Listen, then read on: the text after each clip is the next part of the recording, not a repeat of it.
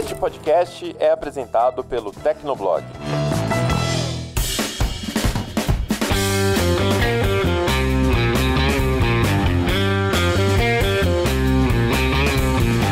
E atenção você que trabalha com TI, sabia que a Dell Technologies te ajuda a se aprimorar como profissional? É só fazer parte do Dell Expert Network, programa de relacionamento da Dell voltado para profissionais e consultores de tecnologia da informação. O programa está comemorando 10 anos de existência e com ele você conta com uma série de benefícios exclusivos. A Dell disponibiliza uma plataforma com cursos online em áreas como proteção, servidores, rede, solução de parceiros, entre outras. Tudo para você fortalecer e ampliar ampliar as suas competências. E essa é só uma das vantagens que os membros do programa ganham. Para saber mais e se cadastrar gratuitamente no programa, ligue 0800 701 1293 ou acesse dell.com.br barra expert-network.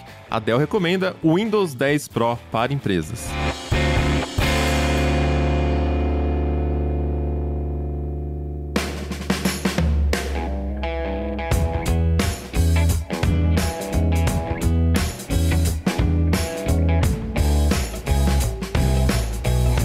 Ouvinte! Seja bem-vindo! Está começando mais um episódio do Tecnocast. Eu sou o Thiago Mobilon. E eu sou o Paulo Riga. A energia solar ainda representa pouco na matriz elétrica brasileira, mas os números tendem a crescer nos próximos anos. E o time não poderia ser melhor, já que a crise hídrica está aí, trazendo preocupação quanto ao abastecimento de energia no país. Nesse episódio, a gente conversa com Guilherme Susteras, que é coordenador da Associação Brasileira de Energia Solar Fotovoltaica, a AB Solar, e vamos tentar entender um pouco melhor o cenário da geração de energia pela fonte solar no Brasil. Então aguenta aí que a gente já começa.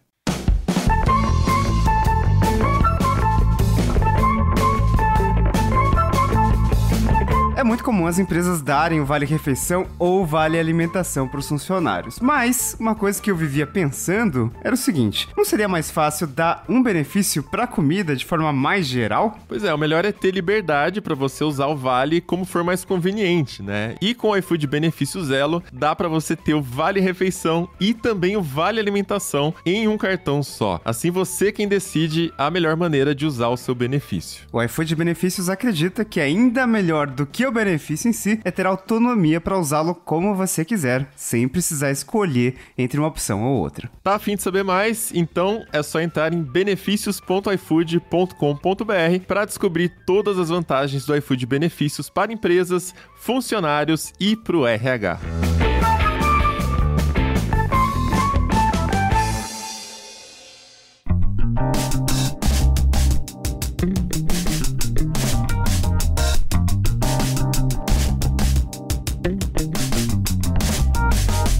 A geração de energia pela fonte solar tem crescido bastante no Brasil nos últimos anos. Em agosto desse ano, o Brasil entrou na lista de 15 países com maior capacidade instalada de energia solar. A gente está ocupando ali a 14ª colocação. E de acordo com os dados da AB Solar, a Associação Brasileira de Energia Solar Fotovoltaica, desde 2012 já foram investidos mais de 52 bilhões no setor e por isso o país conseguiu atingir essa marca de potência instalada. Ainda segundo a AB Solar, a energia solar gerada em usinas de grande porte já ultrapassou as usinas térmicas a carvão em capacidade instalada no Brasil. E com isso, a geração solar passa a ser a sexta maior fonte de energia elétrica do país. Ao todo, o Brasil tem hoje um total de 10,4 gigawatts de capacidade instalada de energia solar, e esse valor seria o equivalente a cerca de 70% da capacidade da usina hidrelétrica de Itaipu, que é uma das mais importantes importantes do país. Se a gente olhar para a matriz energética brasileira como um todo, a gente vê que a fonte de energia solar ainda representa um percentual muito pequeno, são pouco menos de 2% do total. E com todos os investimentos feitos no setor, a expectativa é que esse número aumente nos próximos anos. A previsão da empresa de pesquisa energética, a EPE, empresa pública voltada ali para o desenvolvimento de estudos sobre o setor energético no Brasil, é que a energia solar chegue a 5% do total de energia energia gerada do país até 2030. Então, ainda falta um tempinho, mas né, o número ainda tá lá um tanto pequeno, né, Riga? Bem pequeno, né? E o protagonista da nossa matriz elétrica ainda continua sendo a energia hidrelétrica, né? Que é a fonte com maior participação. As usinas hidrelétricas, elas produzem pouco mais de 65% da energia elétrica consumida no Brasil e nenhuma das outras fontes, como eólica, biomassa, biogás natural, chega a bater 10%. Então, a gente é bastante dependente das hidrelétricas mesmo. Olhando pelo lado positivo, o Brasil se sai muito bem no quesito fontes renováveis, né? A gente depende muito menos de queima de combustíveis fósseis, por exemplo, que são utilizados em usinas termoelétricas. Se bem que agora a gente está usando, mas a gente depende muito menos no geral. Isso tem um lado positivo muito claro, né? Menos queima de combustível, menos emissões de gases do efeito estufa. As fontes renováveis representam 83% da matriz elétrica brasileira, de acordo com o Ministério de Minas e Energia. Então, comparado a outros países, é uma diferença muito grande. Só que tem alguns problemas aí, né? O primeiro é que vale ressaltar, para quem talvez tenha uma ideia muito romantizada das hidrelétricas ainda, elas são fontes de energia renováveis, né? Usam água, mas não são exatamente limpas, porque tem aquele impacto ambiental muito grande, principalmente durante a construção, né? Você tem que alagar uma área muito grande e depois a conta fica para fauna e para flora. E o problema mais óbvio, né, que vocês estão vendo nas notícias, é que a nossa principal fonte de energia depende das chuvas. Então, se não chove ou se chove menos, daí a gente começa a ter esses problemas aí. É, se você acompanha as notícias, você já deve ter ouvido duas palavras que pipocam ali de tempos em tempos, colocam a gente nesse estado de alerta, que é a crise hídrica. Você fica sem energia, fica sem água pro banho, né? Afeta tudo aqui no Brasil. Entre novembro de 2020 e abril de 2021, choveu muito menos do que era esperado para esse período e que costuma, no caso, ser uma estação chuvosa. Então, pra gente ter uma ideia, os resultados foram os piores desde 19 1930. E esse fato já sinalizava um problema que estava chegando, que é uma seca rigorosa que afeta vários estados do país. A gente tem cerca de 2.445 municípios afetados, que representa cerca de 43% do território do país. A falta de chuva levou as cidades a adotarem racionamento de água e entre elas capitais como Curitiba. A coisa tá pior em estados do Sudeste e Centro-Oeste, onde choveu só um terço do que era esperado em certos meses. Agora, para nossa matriz elétrica, isso representa menos água nos reservatórios das hidrelétricas. O Operador Nacional do Sistema Elétrico, a ONS, emitiu em junho um alerta sobre o volume baixo das hidrelétricas no Sudeste e Centro-Oeste, que correm o risco de entrar em colapso já agora em novembro, né? Então temos dois meses para isso acontecer. O Sistema Cantareira, por exemplo, que é o maior reservatório de água da região metropolitana de São Paulo, terminou agosto com 37,3 3% da sua capacidade, quando o normal para essa época seria 60%. Então já está chegando na metade, a situação realmente desesperadora. E a usina hidrelétrica de Ilha Solteira, que é a maior do Sudeste em potência instalada, chegou a registrar 0% de armazenamento de água no dia 15 agora de setembro, e vários outros reservatórios no eixo Sudeste e Centro-Oeste também registraram níveis muito baixos, alguns até abaixo de 10%, o que prejudica bastante as hidrelétricas instaladas nessas regiões. É, tá difícil e esse cenário tem tanto causas naturais quanto causas estupidamente humanas. Então, para começar, tem o fenômeno Laninha, que gera um resfriamento nas águas do Oceano Pacífico, que na prática causa uma alteração ali na dinâmica das chuvas. E no caso do Brasil, o fenômeno atinge principalmente a região sul. A gente tem que falar também de aquecimento global, porque ajuda a explicar a seca. É sempre bom lembrar que esse fenômeno é agravado pela ação humana e as emissões de gases poluentes fazem com que a atmosfera esquente, o que contribui para fenômenos mais extremos como secas intensas e temporais. E outro fato que ajuda a explicar esse contexto é o desmatamento, que impede a criação dos chamados rios voadores. Esses rios voadores aí são massas de umidade que viajam pela atmosfera e geram chuvas no centro-sul do país. Então, com a mata cada vez mais destruída, os rios voadores vão desaparecendo e o ciclo de chuva chuvas fica mais irregular. Inclusive, Riga, tem um documentário bem legal no Netflix, vale citar aqui, que fala sobre esses rios voadores da Amazônia, só que ele faz a ligação sobre o deserto do Saara e os rios da Amazônia, esses rios voadores, é, e mostra como tá tudo muito interligado e interdependente. Vale a pena procurar assistir. O nome eu não lembro, mas tá lá.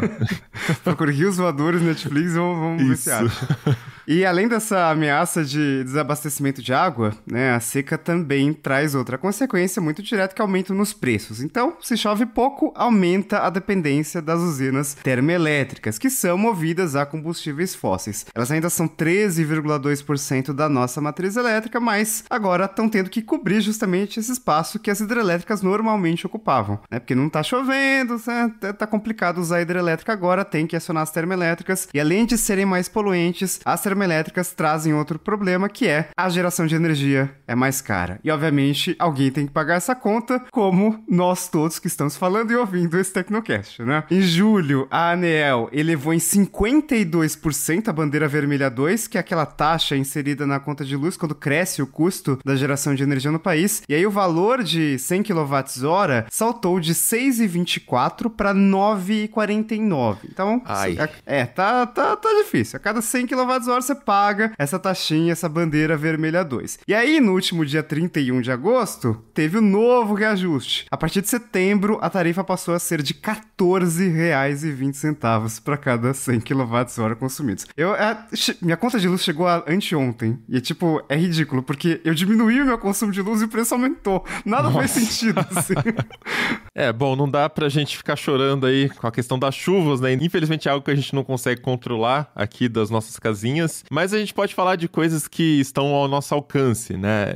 Independente da situação, o que a gente aprende com isso é que é importante, né, ter uma diversificação grande aí da matriz elétrica do país. E se a nossa matriz é tão dependente dos recursos hídricos, a gente sabe que nesse período de seca e estiagem existe esse risco. Você precisa ter mais fontes à disposição. E o fato da fonte solar ser renovável é muito importante também para o meio ambiente, né? Mais capacidade em energia solar pode significar significar no futuro que as termoelétricas não vão ser tão requisitadas nos períodos de estiagem, o que contribui também para manter a matriz elétrica do país mais limpa. E também tem o benefício financeiro, né, que conta bastante. A energia solar é mais barata do que a que é gerada pela queima de combustíveis. Então, se a gente tivesse mais capacidade instalada, dava para pensar que no momento de seca a conta de luz talvez não subisse tanto. Enfim, o que não falta são pontos interessantes aí sobre energia solar e para a gente entender um pouco mais sobre ela, a gente conversa agora com Guilherme Susteras. Ele é coordenador do Grupo Técnico de Geração Distribuída da AB Solar, da Associação Brasileira de Energia Solar Fotovoltaica. Bora lá pro papo.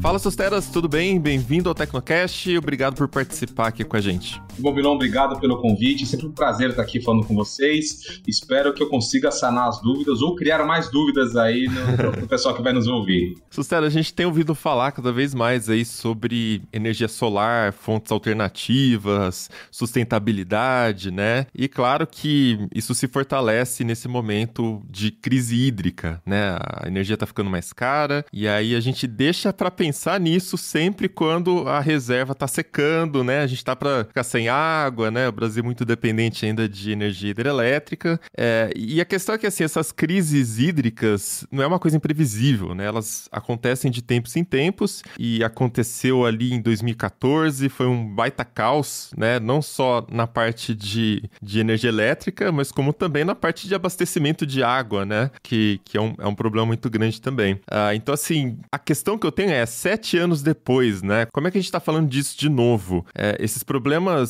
não são previsíveis, não é uma coisa que a gente tinha, teria como evitar, né? E a dependência das hidrelétricas no Brasil, você acha que é um problema isso? É depender demais das hidrelétricas? Ou o nosso problema é como essa matriz é operada aqui no Brasil? É, na verdade, é, para problemas complexos, as soluções são complexas, né? A resposta, a gente pode gastar uns quatro programas para tentar começar a tratar desse assunto. Só nessa primeira.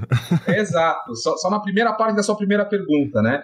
é, e a verdade é o seguinte, né, o Brasil sempre se vangloriou com muita razão de ter uma das matrizes elétricas mais limpas do mundo, né, majoritariamente hidrelétrica. O Brasil, de fato, tem, tem rios muito, muito poderosos, né? Só que há muitos anos, e digo muitos anos, há pelo menos 20 anos, a gente meio que já esgotou os rios mais fáceis de explorar do ponto de vista energético. Tanto que as hidrelétricas mais recentes foram feitas na região amazônica. Tem dois desafios. Na né? primeira, a distância do centro de consumo. Né? Então você tem que construir milhares de quilômetros de linha de transmissão passando por biomas complexos, né? Não só a, a floresta, mas também o cerrado, né? É, esse é o primeiro desafio. O segundo desafio é que é uma região mais de planície. Né? O pessoal deve lembrar das aulas de geografia, né? que uma das características da, da região amazônica é uma região de planície. Então, quando você faz uma barragem, você acaba alagando mais área do que se você fizesse essa mesma hidrelétrica aqui no Sudeste, que é uma região de montanha. Né? O pessoal deve lembrar do Mar de Morros do, do interior do Brasil. É, e aí o Brasil precisou e precisa diversificar a sua matriz elétrica, justamente porque a demanda de energia do Brasil continua crescendo. Né? O Brasil é, tem uma característica interessante que para cada adição de PIB você precisa adicionar energia para suprir. Mas mesmo que o Brasil não crescesse economicamente, mesmo que o PIB se estabilizasse, ainda assim você teria um crescimento da demanda de energia, porque aos poucos as pessoas vão saindo da linha de pobreza. Então as pessoas têm acesso a novos eletrodomésticos. Por exemplo, na minha infância seria impensável uma pessoa ter um apartamento em São Paulo com ar condicionado, né? Essa é uma novidade, ar condicionado na sala de aula, nas escolas, imagina. E, e no fim das contas, então a, gente precisa de mais energia. E aí o Brasil, de alguma forma, tentou explorar o gás natural, mas a gente tem um desafio muito grande do gás natural. Primeiro que a gente não tem, o que a gente tem está lá no, na, na bacia de Campos, no meio do Oceano Atlântico, então tem, tem que trazer esse gasoduto. A gente não tem gasodutos no Brasil para transportar, mas a gente descobriu uma novidade para o Brasil no, no, no, começo do, do século XXI, que era a eólica. Então o Brasil começou a investir em energia eólica, de fato, a gente tem um dos melhores ventos do mundo, e mais recentemente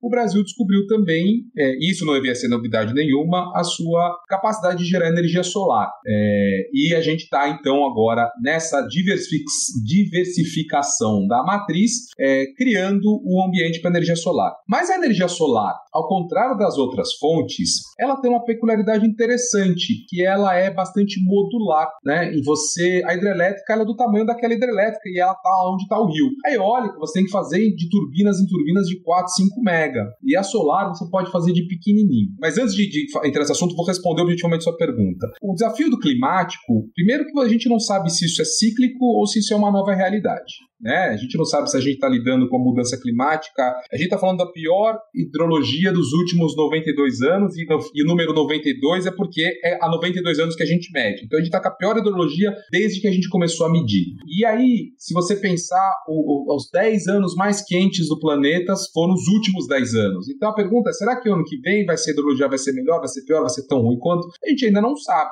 E aí, o planejamento energético ele tem um desafio importante que é se você quiser construir mais usinas, você precisa de mais investimento e está na cabeça do planejador tentar evitar o máximo de investimento possível, enfim, para não, não, onerar o consumidor de energia, né? É, então, o, o, a, a, tendência é que o, o, planejador vai tentar postergar o máximo possível a decisão de investir em novas fontes de energia, só que tem um preço a se pagar, porque se você postergar demais, quando chegar aos 45 do segundo tempo, você acaba tendo só duas opções, que é ou racionar energia, foi o que aconteceu em 2001, ou começar a contratar termoelétricas muito caras, que também foi feito em 2001, né? e não foi o suficiente. Né? A gente tinha barcaças de motores a diesel de caminhão paradas, gerando, tentando gerar energia, mas que não foi o suficiente. A diferença de 20 anos atrás, quando a gente de fato teve o apagão, o racionamento para hoje, é que hoje a gente tem justamente a opção da energia solar. De todas as fontes de energia, é a única que você, em questão de semanas, consegue produzir energia e, como eu disse, de forma muito modular. Apesar do, do, do problema de planejamento e apesar de tudo que a gente está enfrentando, a gente estaria numa situação muito pior se não fosse a energia solar. E a resposta da segunda parte da pergunta, que imagino que seja, bom, e o que fazer no futuro para evitar isso, é justamente é, é, encorajar as pessoas, não preciso nem falar a palavra incentivar, é encorajar as pessoas a é, investirem o seu próprio recurso, o seu próprio dinheiro em, em, geração própria de energia, que é bastante factível, é bastante viável, sempre precisa de dinheiro de governo, sempre precisa de dinheiro público, e, e neste setor, o governo incentivar significa não atrapalhar. Né? Então, e, e, a grande barreira que a gente tem hoje em dia, na verdade, são as concessionárias de energia que não têm conseguido responder na velocidade que a gente precisa. Então vamos falar de, de fonte solar, né? Provavelmente, quando a gente sai de hidrelétricas e, e sai de termoelétricas também, que a gente está dependendo muito, acho que a principal diferença ali para a matriz hidrelétrica é que a energia solar é intermitente, né? A fonte, né? Então a geração ela não é constante ao longo do dia. Em certos horários não tem sol, né? E mesma coisa com energia eólica, né? Vai ter a piadinha da, de estocar vento, mas tem horários que no, durante o dia que os ventos são mais fracos que, que em outros, né? Então a gente vê que essas fontes alternativas têm uma certa desvantagem. E aí, eu queria entender essa questão da intermitência, ela quanto que ela diminui a capacidade da fonte solar de gerar energia, né? E como que a gente faz? É, quais são as estratégias para aproveitar ao máximo esse tipo de, de fonte de energia, apesar dessas limitações que a gente conhece? É, a vantagem da energia solar em relação à energia eólica é que ela é previsível. Você sabe exatamente que horas vai ter sol e que horas não vai ter sol, ao contrário do vento, que você é, é, muito mais aleatório. E a única, vamos dizer assim, mais intermitência nesse ponto de vista é quando passa uma nuvem em cima da usina solar. Mas a usina, a energia solar tem uma outra de característica interessante que justamente por ela ser muito modular, ela acaba sendo muito bem espalhada pelo país. E a não ser que você tenha uma nuvem estilo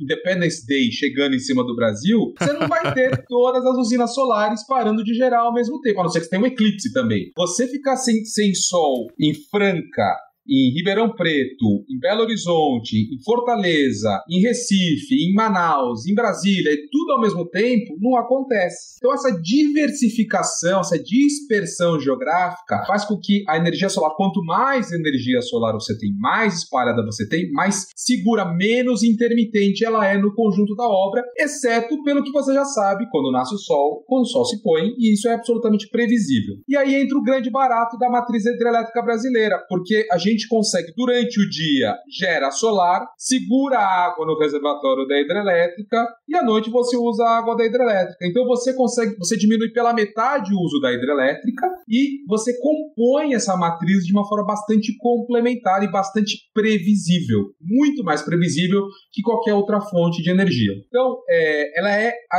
a, questão é que ela é diferente. E isso é, é o que assusta as pessoas, né? A forma de você operar um sistema com mais fontes renováveis, ela é diferente do, do que você fazia antes, mas ela, especialmente no caso da solar, ela é bastante controlável. E aí vem a próxima revolução energética, que é, que é o armazenamento, que são as baterias. E assim como a energia solar há, há, há 10 anos atrás era considerada uma coisa de maluco, de satélite da NASA, de milionário ou de calculadoras Cassius que a gente tinha na nossa mesa, e hoje a gente vê é, em qualquer esquina praticamente, da mesma forma as baterias vão se tornar assim, é, e, e, o grande, e o grande direcionador desse novo mercado são os carros elétricos. A indústria automobilística se eletrificando vai aumentar a demanda por bateria, aumentando a, a demanda por bateria diminui o custo unitário e aí você consegue ter também as baterias estacionárias. E aí, se você juntar energia solar, eólica, o que for, mas vamos falar de solar, com bateria, a gente vai ver a mesma revolução no setor de energia que a gente viu no setor de telecomunicações, não com celular móvel, mas com smartphone. Que aí você muda completamente a filosofia de uso das infra da infraestrutura de rede. É que a questão da bateria também traz outras complicações, né? A questão da. A gente tá falando de sustentabilidade, aí bateria sempre levanta aquela questão de poluição, dos componentes químicos. Isso já é um problema hoje quando a gente tá falando de notebook, de smartphone. E no dia que todos os carros tiverem o assoalho inteiro feito de bateria, ou as paredes das casas tiverem também suas power, power walls, né? As suas baterias ali também para armazenar energia solar. Então aí meio que acaba trocando um problema por outro nessa com a tecnologia que a gente, que a gente tem hoje, né, de, de química? É, esse é um daqueles problemas que seguramente a tecnologia vai resolver, vai endereçar, né? É, é importante que você tenha é, é mandatos claros, e aí não tem jeito, tem que ser governamental para garantir é, logística reversa. Para dar exemplo, eu te garanto que No começo do século XX, quando as pessoas andavam de cavalo e falavam de carro, falavam assim: pô, mas carro tem aço. O que você vai fazer com esse bando de aço? Vai, enxu... vai encher de aço a cidade não vai ter o que fazer. Ou, pô, as pessoas vão andar para cima e para baixo sentadas em cima de um tanque de um combustível, de um líquido inflamável explosivo. Maluquice, as pessoas vão, vão se explodir para cima e para baixo. Tanto que no começo, para andar de carro, você tinha que ter um cara na frente segurando uma bandeirinha vermelha, para as pessoas não, não, saírem da frente, porque elas tinham medo de ser atropeladas ou de, de, de pegarem fogo. E aos poucos a gente aprendeu a conviver com isso. A tecnologia evoluiu, a, a cultura evoluiu. Então, essa incerteza né, é, é, que a gente tem sobre o que será o mundo depois das baterias é alguma coisa que a tecnologia vai resolver, é, seja do ponto de vista de reciclagem, seja do ponto de vista de gestão de risco de incêndio, seja todas essas questões que hoje ainda parecem ser muito distantes da gente, mas que seguramente a tecnologia vai resolver da mesma forma que a indústria automobilística resolveu o problema do combustível e antes disso resolveram outros e outros problemas é, na humanidade. Agora, Susteras, o Brasil já ultrapassou a marca de 10 gigawatts de potência instalada em energia solar e então a gente já está na 14ª posição entre os países com maior capacidade nessa fonte. Então, isso já mostra que tem crescido né, o interesse, os investimentos nessa matriz energética e, ao mesmo tempo, a fonte solar ela só representa 1,8% do total da matriz elétrica nacional. Então, com esses dados aí, eu queria entender é, quanto dessa energia produzida pela fonte solar vem da geração centralizada e quanto que vem da geração distribuída. E aí, é, queria que você já aproveitasse para explicar né, como é que funcionam esses dois modelos. Você que é um especialista nesse assunto. É interessante, né? Você pode enxergar esse copo meio cheio meio vazio, né? Você diz, o Brasil já está na 14 posição do ranking, eu diria para você, o Brasil ainda está na 14 posição do ranking, né? Se eu te falar que a gente está atrás do Vietnã, você acreditaria? Caramba! O Vietnã é desse tamanho, como assim? Desse tamanho e com muito menos renda que o Brasil, né? É, então, isso é, um, isso é, um, sinal de que como a gente está ainda atrasado em relação ao mundo, a nossa potência instalada. E uma outra informação, né? Você falou 10 gigawatts de, de energia solar, só para ter uma dimensão, a usina de Itaipu tem 14 gigawatts, né? Então, a gente está muito perto de ter uma Itaipu em, em energia solar em potência instalada, né? A diferença é que Itaipu demorou dezenas de anos, alguns milhares de, não sei se milhares, mas seguramente dezenas de, de acidentes de trabalho para construir aquela barragem, sete quedas que foi, que foi apagada, etc. E a geração solar, a gente, de verdade, a gente está em 10 gigawatts, esse número aconteceu de 2017 para cá. Estamos falando com coisa de três anos e meio para chegar nesse número. É, então é, é, é, impressionante a velocidade como essa, essa, essa, essa tecnologia entrou no Brasil e, e, e cresce cada vez de forma mais acelerada. Hoje a gente tem, sim, grandes números, né, mais ou menos um terço, um pouquinho mais de um terço da geração centralizada e um pouquinho menos de dois terços da geração distribuída. A geração distribuída é o que a gente vê, os painéis nos telhados das casas das pessoas, das empresas. E a geração centralizada são as grandes usinas, né? E aí, grandes eu estou dizendo são usinas de centenas de megawatts, né? E aí, para dar uma dimensão, um megawatt de solar ocupa mais ou menos aí, o tamanho de um campo e meio de futebol, entre um e dois campos de futebol. Então, estamos falando de usinas que ocupam é, entre 300 e, e 450 campos de futebol, mais ou menos, essas usinas centralizadas, né? São usinas que vendem energia em leilão, que vendem energia para os grandes consumidores, os grandes shoppings, as grandes indústrias. É, e a centralizada é, a grande maioria são os telhados, né? São sistemas pequenos, residenciais, comerciais, espalhados pelo Brasil inteiro. E, e curiosamente, qual é a cidade que na sua cabeça tem a maior potência instalada solar do Brasil? É, deve ser alguma coisa muito absurda para você estar tá perguntando, né? Eu ia chutar alguma metrópole, sei lá, tipo São Paulo. é, também, sei lá, São Paulo, alguma, ou pelo menos uma metrópole BH. que tenha uma área maior, alguma coisa assim. É, na verdade é Cuiabá, são Paulo não está não tá nem entre os 10 maiores. A cidade de São Paulo ela não, é, não é muito favorável para energia solar. A gente tem muito sombreamento, né? E quem, quem vive em São hum. Paulo, na terra da garoa, né?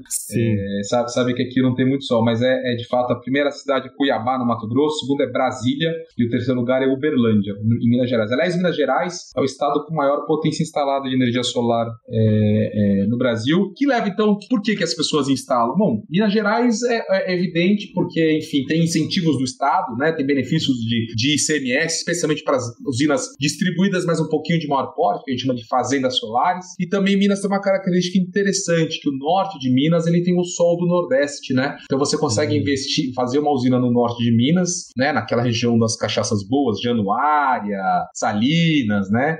Tem bastante sol, e você consegue gerar, gerar essa energia lá e consumir em Belo Horizonte, em Triângulo Mineiro, etc. E é, São Paulo, obviamente, pela renda, pela, pelo, pelo tipo de perfil de cliente, e o Grande Sul muito pelo tema da sustentabilidade, né? É, são, são o pessoal do agronegócio, mas são pequenos negócios que gostam de ter sua autossuficiência energética, gostam de garantir sua sustentabilidade. Então, não quer dizer que os outros também não tenham, mas é uma, acho que é um, é um traço é, talvez um pouco mais marcante, mas para dizer que por que as pessoas investem em energia solar? Por isso, porque elas querem é, ter controle do custo da energia, né? Ter, é, pegar em suas próprias mãos a responsabilidade por gerenciar o seu custo, custo que está cada vez maior, não tem dúvida, né? Um pedaço importante da nossa inflação aí, que o, o Banco Central está sofrendo, está subindo o Selic atrás do Selic por causa do, do, da inflação da energia, né? Então, investir em energia solar é uma forma de controlar o seu próprio custo, você sabe quanto você vai pagar por ela. É, o tema da sustentabilidade, também muito da pandemia, as pessoas ficaram em casa, começaram a dar mais valor. É, a valorização do imóvel, as pessoas começaram a investir na sua própria casa e, e, e muita coisa bacana, muito produto financeiro bacana que surgiu em que você substitui o que você pagava de conta de luz, você passa a pagar no financiamento da sua, do seu painel solar. Então, essa, essa, essa, é, essa conjunção de fatores está levando a, a popularização. E uma coisa interessante,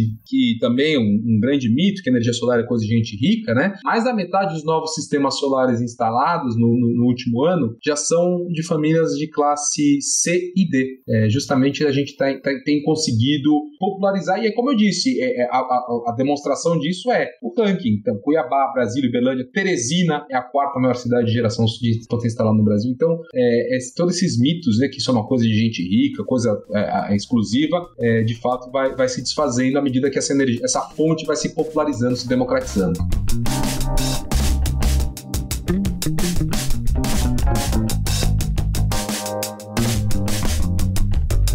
Eu vi, eu vi alguns dados recentemente que o, o custo mundial por watt na geração de energia solar, ele já tinha ficado mais barato do que os outros dos outros modelos. Eu não tenho o número de cabeça agora, mas faz uns seis meses pelo menos que eu vi essa comparação de alguns americanos que eu sigo que cobrem o setor. E assim, e aí você falou, né? Tem a questão que no Brasil que a inflação subindo, o dólar também disparando, o custo de energia subindo também. É, você consegue explicar para a gente mais ou menos como que tá isso hoje aqui no Brasil? Por exemplo, exemplo, se eu quiser é, aqui comprar uns painéis, fazer o, a, a, minha geração distribuída aqui, né? Enfim, montar alguma, alguns painéis aqui em casa, uh, eu sei que você já tem opções do tipo uh, de leasing, né? Você vai pagando uma mensalidade, em vez de você pagar para a conta de luz, você paga para o painel, né? Para quem forneceu, para a empresa que forneceu o painel ali, e eventualmente aquele painel se torna seu. Mas aí tem aquela conta que se fazia uh, de que ter a durabilidade do painel, que geralmente 10, 15, 20, não sei como é que tá isso hoje também, se você já puder explicar pra gente em termos práticos, né? Ah, enfim, mas dá uma pincelada geral assim de qual é o cenário hoje, porque de fato estamos entrando numa crise. Então eu vi um dado até sobre o nível das bacias, né, que em agosto de 2013 estava na casa dos 50% e já estava sendo alertado que ia ter uma crise hídrica lá de fornecimento, né? E aqui a gente está em agosto de 2021, antes de entrar no verão, e está em 31%, que já é o nível que estava no, no meio da crise lá em 2014, né? Ah, então, assim, tem muita gente que deve estar tá pensando em instalar os seus painéis, e aí, com essa zona que está o Brasil de dólar, de juros e inflação, né? Como é que. Quais seriam as opções? Tá valendo a pena? A resposta curta e grossa, sim, vale a pena. E aí você tem, como você disse, alternativas. Né? Então, se você tem um dinheiro no banco e o banco não está gerando, não tá gerando juros nenhum, e você tem a oportunidade de investir, vale a, e você tem o seu imóvel próprio, né? Então vale a pena você investir num painel solar para sua casa. É, só a pergunta é quanto tempo dura? O sistema fotovoltaico dura 25 anos. O fabricante do painel solar garante que daqui a 25 anos o painel vai estar produzindo pelo menos 85% do que produz hoje. O que significa dizer que 25 anos e um dia ele não vai cair de 85 para zero, né? Então a gente não sabe quanto tempo de fato dura. Dura pelo menos 25 anos, mas é possível que dure muito mais do que isso, né? Com, com uma boa boa manutenção, cuidando direitinho, é possível que dure bem mais em, do que. Em quanto tempo leva para ele se pagar na situação que a gente tem hoje? Em, em condições normais, na sua, se você instalar para sua própria casa, no seu próprio telhado, obviamente depende da região, quanto sol, quanto você paga um sistema, qual a tarifa, etc. Mas a gente está falando em média 5 anos. Nossa. Então, é, se você tem o, o, imóvel para fazer, vale a pena fazer. Se você não, você tem um imóvel para fazer, mas você não tem o dinheiro, como você disse, você tem algumas opções muito interessantes, bancos comerciais, cooperativas de crédito, que é uma realidade mais no interior do Brasil do que aqui em São Paulo, embora a gente tenha visto essas cooperativas de crédito surgir agora também em São Paulo, nas grandes cidades. Você tem fintechs fazendo modelos de financiamento bacanas, de locação de equipamento bacanas, fazem justamente isso. Você passa um tempo pagando o que você pagava na conta de luz pelo financiamento e depois disso é seu, né? Como se você trocasse o aluguel pela prestação da casa própria, já morando nessa casa própria, né? Então você tem essa opção e também tem uma opção bacana que é o que a gente chama das fazendas solares, a geração compartilhada, que é para quem mora em apartamento mora em imóvel alugado que não tem, não tem condições financeiras ou técnicas de colocar o painel solar no próprio telhado. Então, essa modalidade, você instala o sistema numa região rural, mais otimizada, e pela rede da concessionária você recebe esses créditos de energia solar na sua casa e abaixo do, da, da, sua conta. Então, você tem é, empresas Minas, São Paulo, Distrito Federal, enfim, praticamente nas, nos grandes estados todos já operando essa modalidade, que, que é bastante interessante. A única coisa que é importante dizer, então é ótimo, é fantástico, recomendo muito, obviamente, estando da Bessolar, você não esperaria dizer uma coisa diferente disso, né? Só que só precisa lembrar o seguinte, né? Se é, tiver pagão, se o dia acabou a luz da rua, a sua luz acaba também, a não ser que você invista no sistema com baterias, que ainda é extremamente caro, né? Ainda não é, não é realisticamente falando, não é viável ainda, talvez seja daqui a 3, 4 anos. Mas isso é um ponto que eu acho que muita gente ainda não entende aqui do Brasil. É por que que acaba? Eu não tenho o painel ligado na minha rede? Eu não, eu não uso a energia do meu painel? É, o painel, ele para o painel gerar energia, ele precisa do sinal externo, da tensão externa para ele,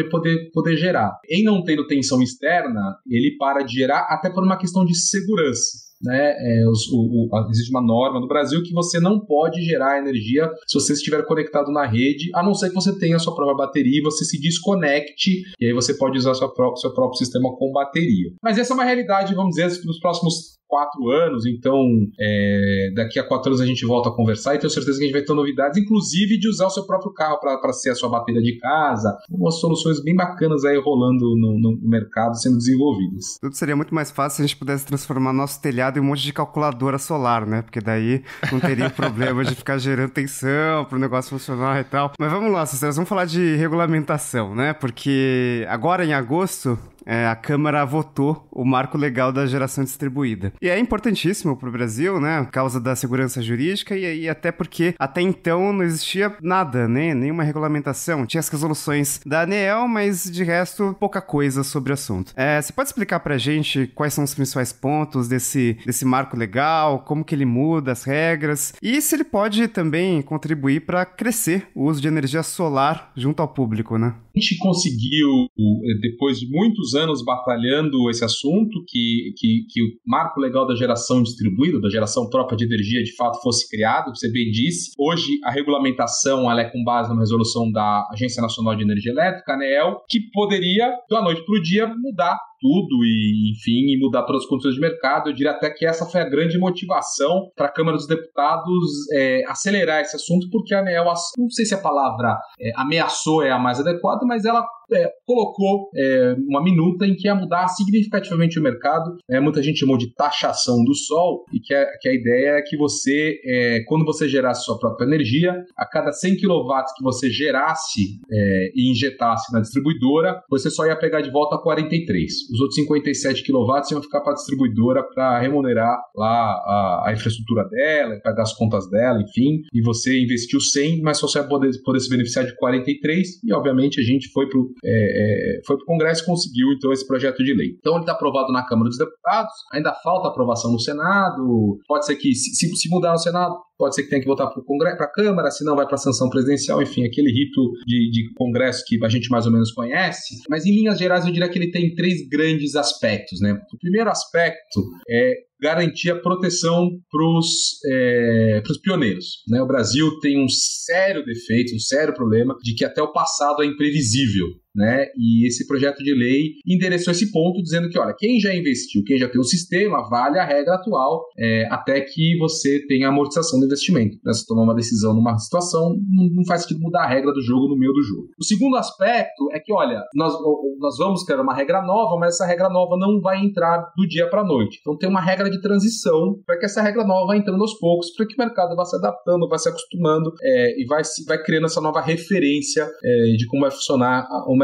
E o terceiro ponto é que a tarifa que vai ser cobrada de quem tem é, geração solar e injeta energia na rede da concessionária não vai ser aqueles 57% malucos iniciais, mas também não está dizendo na lei qual vai ser o número. A lei diz o seguinte: olha, o, o, o, Conselho Nacional de Política Energética, que é um órgão colegiado formado por vários ministérios, Ministério de Minas e Energia, Ministério da Economia, enfim, um montão de ministérios, vão discutir como garantir que os custos e os benefícios da geração distribuída são corretamente quantificados para que a tarifa final é, seja neutra. Quer dizer, nem tenha o, o nem o, o, consumidor que não tem geração solar é, subsidie quem tem, nem vice-versa. Né? Nem, nem, quem tem pague tanto que acaba subsidiando quem não tem.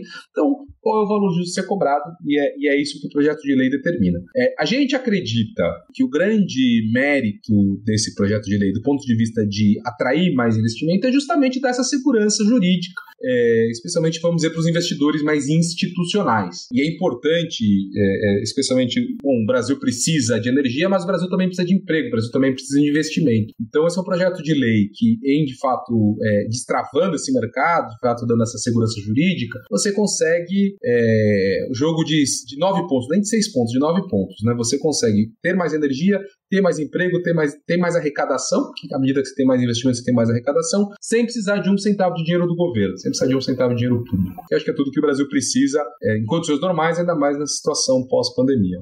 Bom, Susteres, e aí o Brasil, assim como vários outros países do mundo, ele tem esses objetivos a médio e longo prazo para geração de energia limpa e renovável e também para a diversificação da matriz energética como um todo, né? Como a gente está falando aí, a gente é muito dependente ainda de hidrelétrica e quando dá problema ativa a, uma, uma fonte que é muito poluidora. E, por exemplo, o, o ministro de Minas e Energia, Bento Albuquerque, afirmou que até 2030, 25% da matriz matriz brasileira deverá ser limpa. Né? E a energia solar entra como um componente importante nesses projetos aí para o futuro. Agora, quando se trata de atingir esses objetivos, alguma das duas modalidades que a gente comentou, essa centralizada ou distribuída, é mais efetiva aí né, para a gente conseguir chegar nessa meta? E também o que, que a gente pode pegar de exemplo de outros países, né? Como é que tem sido essa adesão à energia solar? Você citou aí alguns casos, mas quais são os exemplos que você acha que faz sentido para o Brasil se basear? Assim, o que vale dizer, Moblon, é que do, do,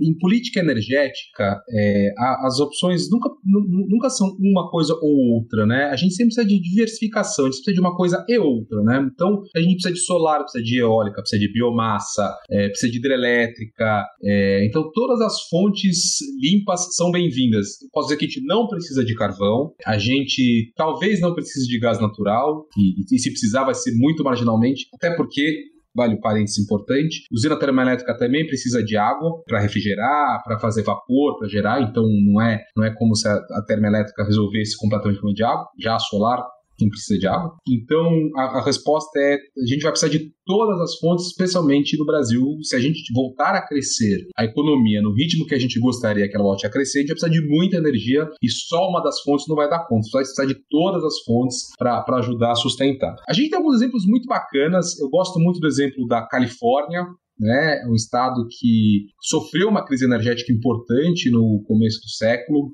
e desde então eles vêm trabalhando para diversificar a matriz, é, e lá eles têm coisas interessantes, inclusive coisas bastante, vamos dizer, extremas, que é obrigar que todo novo da nova construção tem que ter geração solar. É, acho que tem, é, tem aspectos interessantes. Não sei se a gente deveria ou não copiar isso no Brasil, mas acho que tem um aspecto interessante para a gente olhar. É, a Austrália é um exemplo fantástico também. É a realidade em que eles estão. E a, e a Austrália é muito também na modalidade mais também distribuída, em que você tem essa capacidade de produzir, de sustentar o consumo de energia é, com base na geração de solar distribuída. E tem uma característica importante, tal, que, que é comum à Austrália Austrália ao Brasil, e é diferente dos países europeus e, e de alguma forma da Califórnia, que o pico de consumo de energia é, na Europa e em alguns Estados Unidos é no inverno, que é, um, é, é, é, é, a carga de calefação. Já no Brasil e na Austrália, o pico do consumo é no verão, né, por causa do, do, da carga de ar-condicionado, e é justamente quando a gente gera mais energia solar. Então, eu diria que essa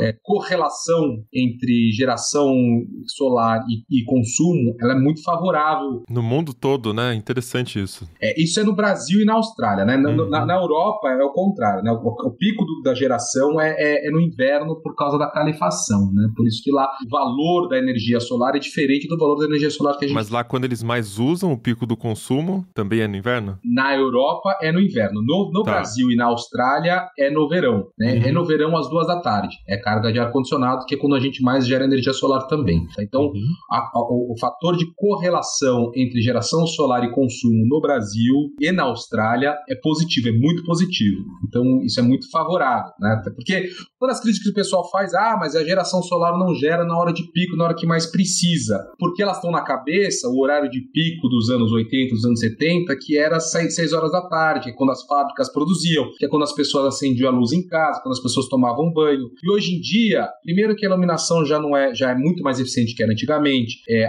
o Brasil tem se desindustrializado, então o consumo tem ido muito mais para de serviços. Então os escritórios, é, as lojas, os shopping centers, o consumo é de fato às duas da tarde. Então é, é a energia solar gera justamente na hora que tem mais consumo. Isso é muito favorável e esse é o caso da Austrália. Então, acho que tem bons exemplos internacionais, né? É, a gente gosta de falar do exemplo da Alemanha, que tem que a melhor irradiação solar da Alemanha é pior é, do que a pior irradiação solar do Brasil. Então, não faz sentido a Alemanha estar mais avançada que o Brasil em termos de energia solar mas eles começaram antes. Então a gente tem, eu, eu acho que acho que vale mais a gente se espelhar em Austrália e, e Califórnia. Mas a verdade é que, que, em termos de política energética, cada geografia tem sua própria peculiaridade e o grande barreira, o grande desafio para a gente convencer é, os formuladores de política, enfim, em relação à energia solar, é o, é, é, é o, dizer, o lobby do status quo. Né? Então, você tem as, as empresas de distribuição de energia elétrica que, obviamente, perdem receita com a geração solar, você tem é, os investidores em geração termoelétrica gás natural, colocaram lá na medida provisória da Eletrobras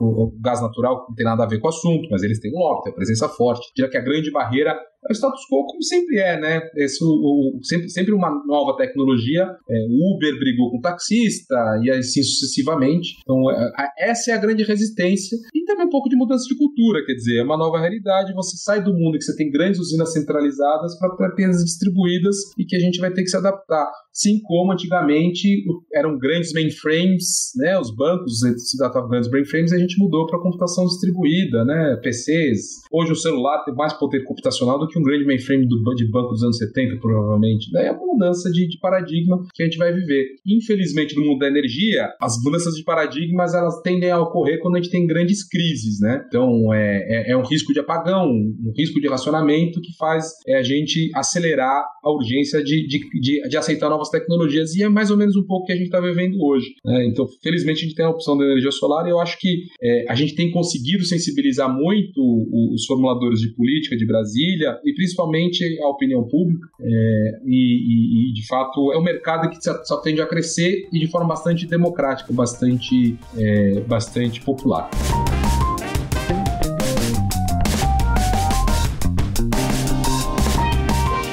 Vamos falar de, de custo e de preço, Susteras, porque tem, um, tem uma questão meio preocupante e talvez engraçada sobre a energia solar, né? Porque até pela especificidade dela, né, de meio-dia, por exemplo, você tem aquele pico de geração de energia solar. E aí, é, o preço da energia solar no atacado, ela vem caindo desde 2014. Inclusive, já caiu cerca de 37%, de acordo com um centro de pesquisa ambiental. Na Califórnia, isso está sendo motivo de preocupação para algumas empresas, né? Existe a questão da deflação do valor solar, que é quando, putz, meio-dia, pico de geração de energia, o custo vai caindo. E aí eu queria entender como é que você vê essa questão. Quer dizer, as empresas elas podem acabar deixando de investir em energia solar porque não vai valer tanto a pena financeiramente? É, são dinâmicas de mercado mercado, né? O mercado vai buscando novos equilíbrios, né? É, tem um fenômeno é, curioso, por exemplo, na Europa, que em dias de muito sol e muito vento, o preço fica negativo. O que quer dizer preço negativo? Você recebe para consumir energia.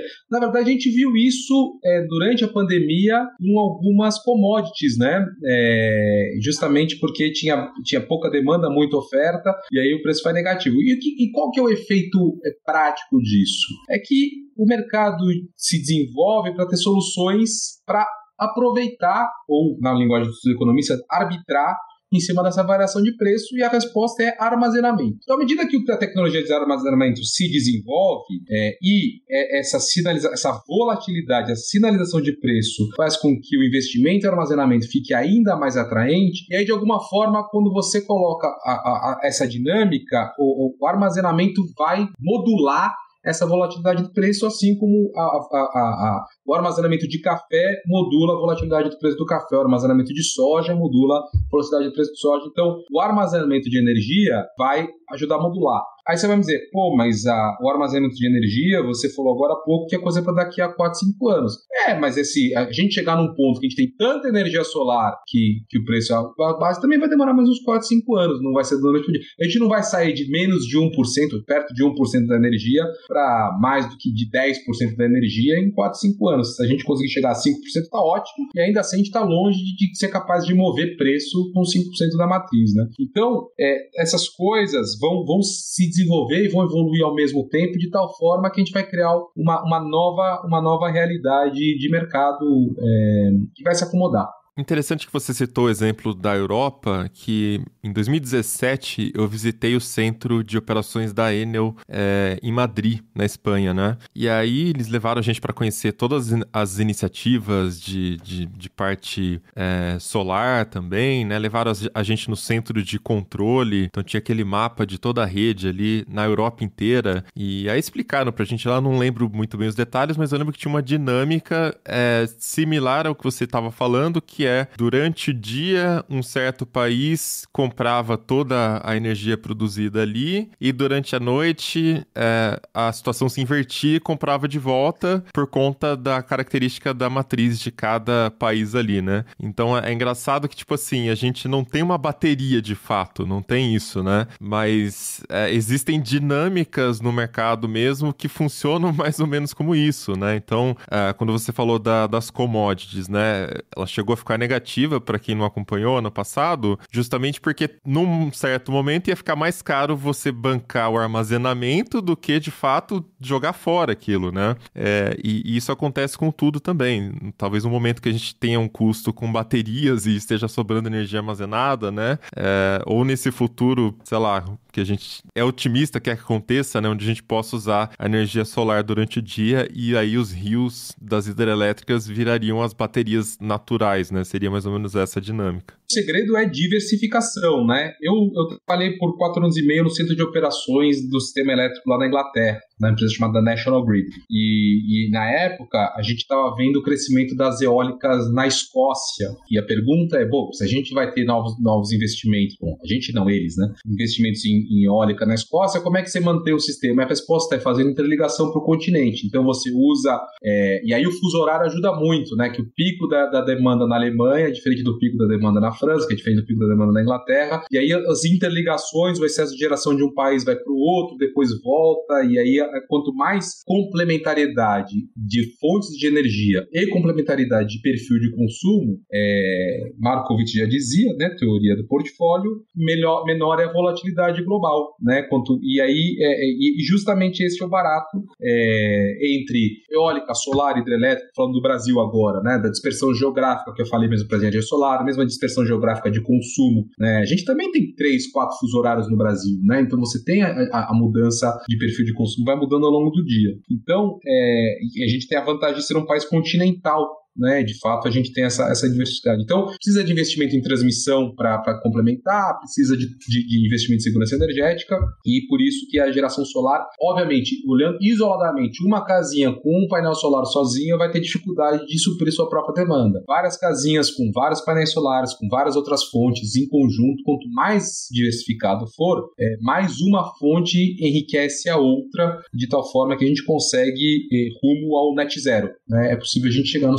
sistema elétrico é, sem qualquer tipo de emissão, com essa complementaridade, mais armazenamento, enfim, e mais também o que a gente chama de resposta em demanda. Né? Você tem os, o, o, hoje o consumo de energia ela, ele é passivo. Né? Se você tiver equipamentos eletrônicos que conseguem controlar para dar um exemplo, se você tivesse na sua casa um boiler, né, para aquecimento de água, e você quer tomar banho às 6 da manhã, tanto faz se a água foi aquecida às 4 e meia ou às 5, né? A resposta é, se estiver ventando mais às 4 e meia, esquenta às 4 e meia. Se estiver ventando mais às 5, esquenta às 5. Obviamente que você não vai estar acordado às 4 e meia da manhã para decidir, você precisa de tecnologia para resolver isso. Mas não é uma tecnologia complexa, né? E, e, é, e, é, e é isso que quando a gente fala de digitalização do sistema elétrico, é disso que a gente está falando. É de fazer os equipamentos tomar essas decisões, e aí tem a convergência com, com internet 5G, você tem uma série de, de, de coisas que vão acontecer com a tecnologia que vão mudar radicalmente a forma como a gente produz e usa a energia no Brasil e no mundo. Teres, eu não poderia deixar esse papo aqui terminar sem te fazer uma pergunta, porque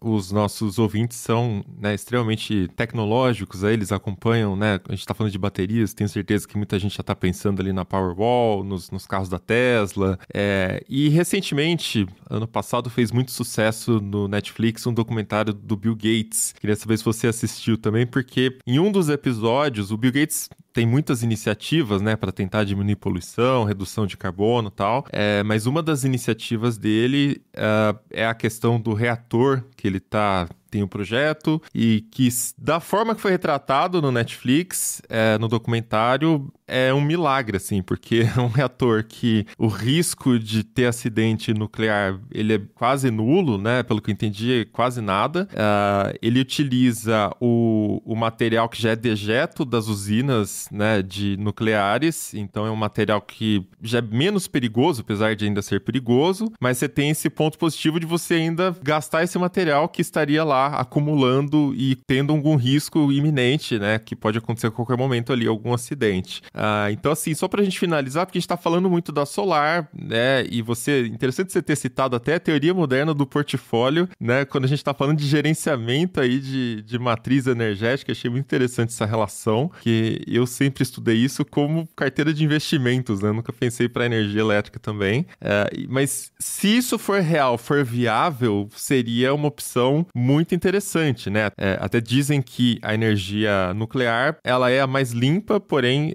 ela tem esse risco do acidente, né? Então, assim, olhando para outras matrizes, né, o seu olhar de especialista, o é, que, que você consegue apontar também outros caminhos que viabilizem esse futuro mais sustentável, né? Porque cada vez mais a gente vai ver dispositivos eletrônicos, a hora que os carros elétricos começarem a rodar, então a demanda por eletricidade vai explodir mais ainda, né? Então, esses caminhos aí, é, é real? É algo factível? Ou é só ficção científica, coisa de documentário mesmo? É, essa é uma pergunta que, se eu, se eu soubesse a resposta, estaria bilionário como o Bill Gates, ou talvez mais do que ele, né? e, e, assim, energia nuclear é um assunto super controverso, e eu diria que pré-Fukushima foi uma realidade, pós-Fukushima foi uma outra realidade, né? A gente fala do Energiewende na Alemanha, como a, a, a sociedade alemã aceitou, inclusive, voltar para o carvão, porque não estava disposta a ter nuclear, enfim, muito, muito em função do, de Fukushima, e tem gente que fala que morre por ano mais passarinhos comidos por gato do que pessoas jamais morreram por energia nuclear. Gente, queria saber de onde vem essa métrica, como eles coletam esses dados. E aí, quer dizer, é, é, os microreatores são uma possível solução tecnológica? São, assim como o hidrogênio é uma possível solução tecnológica, é, e, a gente pode também gastar mais um programa inteiro para falar sobre, sobre hidrogênio, hidrogênio verde, pode falar sobre captura de carbono, a gente pode falar sobre é, novos materiais que a gente nem conhece, que estão sendo desenvolvidos na, na, na academia, seja para produção de energia solar, seja para geração de energia. Tem geotérmica, que é importante, você tem a energia das marés, você tem que pode ser importante. Então, você tem é, o mundo da energia, ele está em aberto. Né? E como eu disse, a, solu a, solução ideal do mundo da energia não é uma única fonte, é a complementaridade dessas fontes. Então, é, você tem toda a razão, a gente vai precisar de muita energia por carros elétricos, eletrificação maior da, da vida das pessoas. Você pensar, é, se, se o Brasil tem pobreza energética em relação ao mundo, você imagine o potencial de consumir energia que você tem no continente africano ainda. Mesmo na Ásia, mesmo no interior da China, no interior da Índia, você tem ainda muita gente sem acesso à, à energia ou com acesso muito, muito pouco, muito, muito escasso. Então, Toda solução tecnológica vai ser bem-vinda. É, eu sou menos radical em relação a ser a favor ou contra. Meu, meu maior radicalismo tem mais a ver com carvão. Eu acho que ele tem, ele tem muito, ele é muito ruim para o microambiente local, né, pelos particulados, embora você tenha tecnologia de limpeza disso. Mas enfim, acho que tem soluções mais inteligentes que o carvão. A gente está no século XXI. É porque já existem, já existem soluções acessíveis. Solução da Revolução Industrial, né? Estamos no século XIX, não faz sentido no século XXI a gente usar a solução do século XIX mesmo o gás natural é a solução do século XX, estamos no século XXI. Uhum. Acho que a gente tem espaço para outras fontes mais interessantes. A, o, o, grande problema da nuclear é que a gente. É, a, a, a pergunta é qual foi a última vez que foi desenvolvido e produzido um reator nuclear dentro do escopo, dentro do custo, dentro do prazo previsto? Né? É, é, e de fato a gente não viu a evolução da, da, da, indústria nuclear, ela, ela sofre um pouco, embora você tenha soluções militares, né? Os submarinos nucleares estão aí funcionando bem e talvez a, a resposta já seja conhecida, né? Os submarinos nucleares já estão aí, talvez esses micro, micro reatores sejam os, que os nucleares usam. A gente não conhece a tecnologia, né? Tá, tá, tá lá secreto para os militares americanos, mas pode ser que seja uma das soluções. Não, não sei se vai ser a solução definitiva, acho que não tem solução definitiva, acho que vai ser uma das muitas soluções que a gente vai usar para é, abastecer o planeta daqui para frente, idealmente de forma bastante sustentável. Acho que esse, esse essa tem que ser a lição. A gente tem que ser capaz de usar os recursos que estão à nossa disposição sem depressioná-los para garantir que as próximas gerações não paguem o preço que a gente tem do mesmo jeito que hoje a gente está pagando o preço das gerações passadas. Ou seja, enquanto estamos aqui, vamos comprar a placa solar, que é mais fácil, tá ali acessível para todo mundo, e a gente vai vendo o que de novo aparece também, né? Usar energia de forma muito eficiente. Acho que tem um lado importante, sabe? Que é. é a gente também pode falar um, um, um, programa só sobre eficiência energética, que é importantíssimo. Tem o fenômeno da energia solar, tem o fenômeno que a gente chama de efeito rebote. Quem instala painel solar acha que é energia de graça, começa a desperdiçar. Então, é, é a gente chama no mercado de energia de negawatt, né? Em vez de ser megawatt, que é, que é a energia não consumida. Né? A energia mais barata é aquela que não é de fato produzida, né? Então, é, e a gente vê a eficiência energética como um outro vetor importante. É, do, do, do, futuro da energia. Então, acho que dá para fazer muito, muito, muito conversa sobre o futuro da energia e eu tenho certeza que se a gente gravar e daqui a alguns anos voltar a escutar, a gente vai dar risada das bobagens que a gente falou e talvez a gente alguma coisa acerte. Que bom, né? Tá evoluindo rápido, isso é um, é um sinal bom. Então é isso, vamos chegando ao final de mais episódio do Tecnocast. E aí, qual é a sua experiência com energia solar, né? Aposto que muitos ouvintes do Tecnocast já devem ter aí algumas placas instaladas e, enfim, podem compartilhar um pouco com a gente, né? Como é que foi feito, se fizeram há muito tempo, se contrataram há bastante tempo, se compraram as placas há muito tempo, ou se foi recente, né? Conta um pouquinho pra gente aí lá na comunidade.tecnoblog.net ou pelo e-mail tecnocast.tecnoblog.net. Se quiser continuar o papo com a gente nas redes sociais, em todas, eu sou arroba Mobilon e arroba Paulo Riga. Este Tecnocast foi produzido pelo Josué de Oliveira, editado pelo Ariel Libório e a arte da capa é do Vitor Pádua. A gente fica por aqui, voltamos com outro episódio semana que vem. Até lá. Tchau.